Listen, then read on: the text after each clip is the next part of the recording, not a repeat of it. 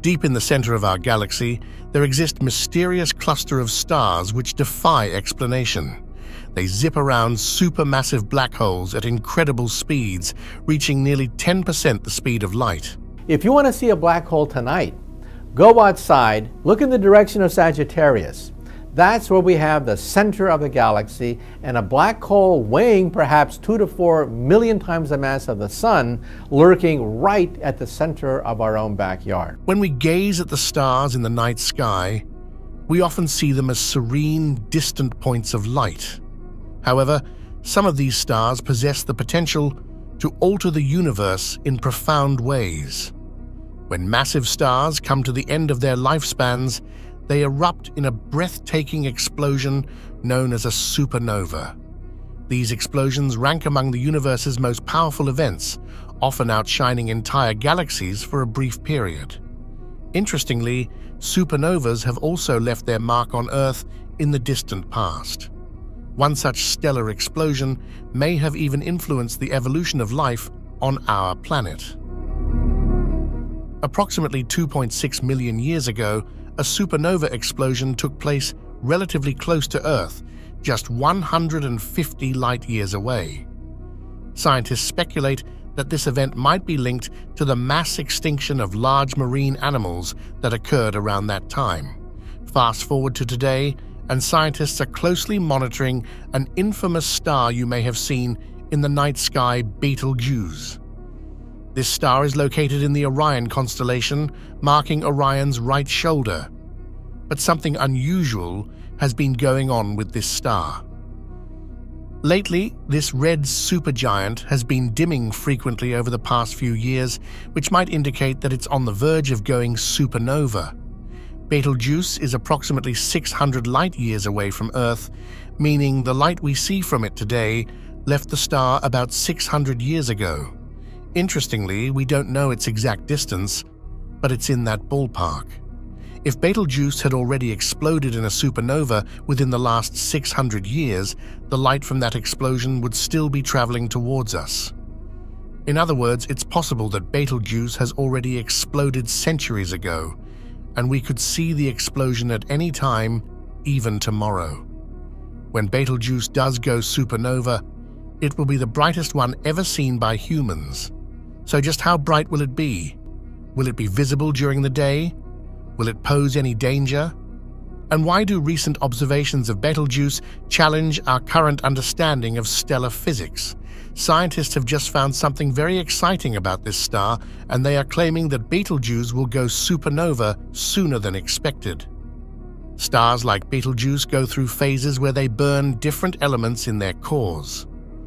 Initially, Betelgeuse, like most stars, fused hydrogen into helium to generate energy.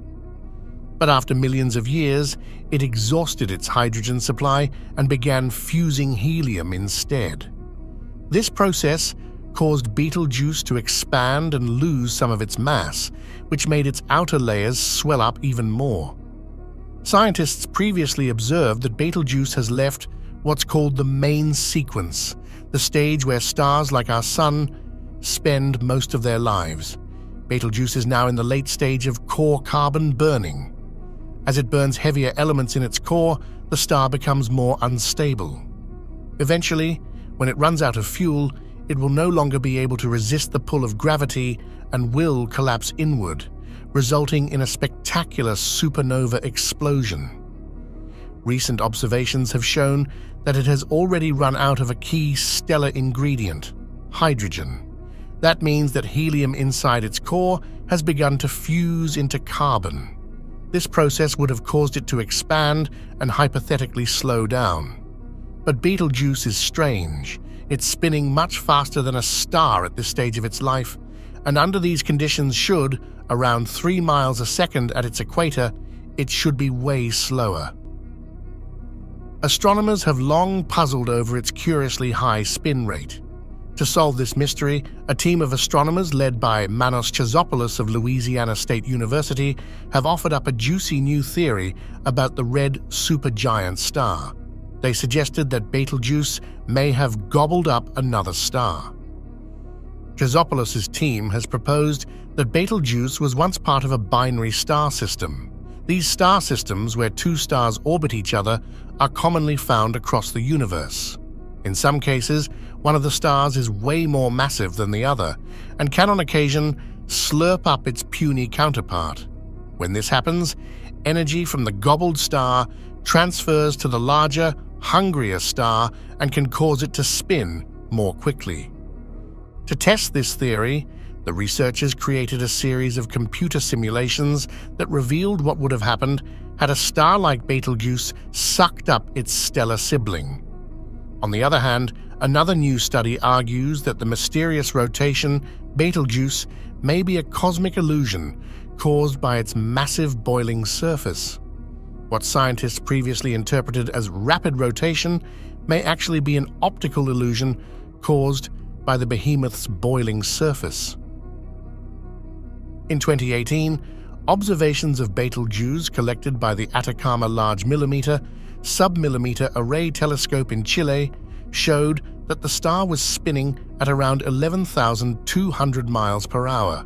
But recently, researchers suggested that the ALMA observations may have been caused not by the star's spinning, but by massive bubbles of gas rising and falling on the star's surface.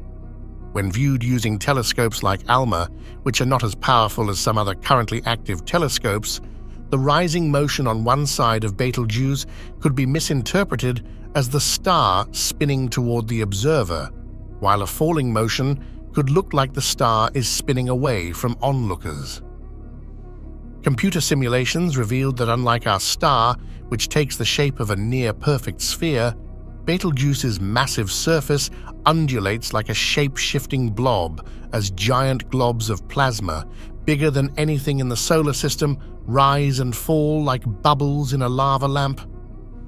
Well, all these observations strongly indicate that the star is nearing the end of its life. Recent research even suggests that it could be on the verge of exploding, perhaps even in tens of years. In a recent study, scientists have claimed that Betelgeuse will become a supernova sooner than expected. The authors of the paper are really saying that according to observations, data, and modeling, Betelgeuse could explode sooner than thought. But this is critical. They don't know what stage of core carbon burning the star is in. According to some of the models that fit the data, carbon burning could go on for a long time.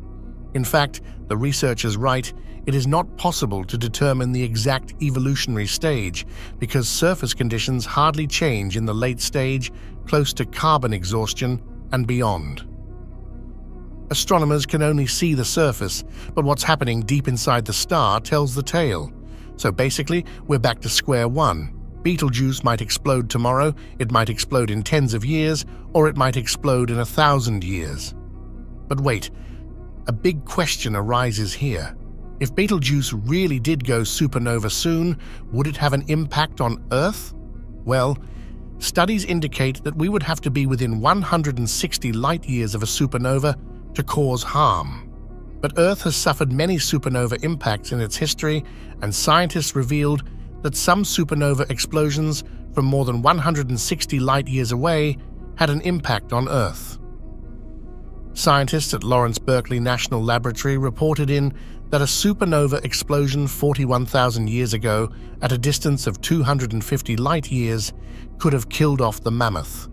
But luckily, Betelgeuse is so far away from us that even if it became a supernova tomorrow, it wouldn't have much of an impact on Earth. But are there any potentially dangerous supernovae within 250 light years of Earth? Well, there is one star that could have serious effects on Earth if it becomes supernova.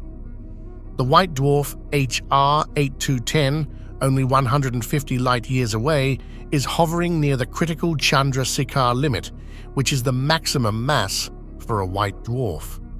But as part of a binary system, it is gradually accreting matter and gaining mass.